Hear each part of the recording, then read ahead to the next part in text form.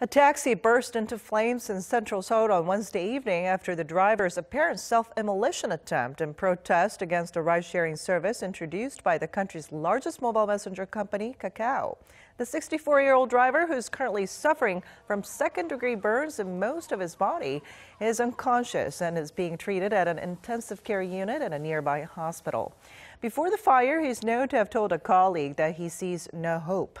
Kakao Mobility Corporation introduced a limited version of the carpooling service late last month, but it has delayed the formal launch due to massive protests from taxi drivers.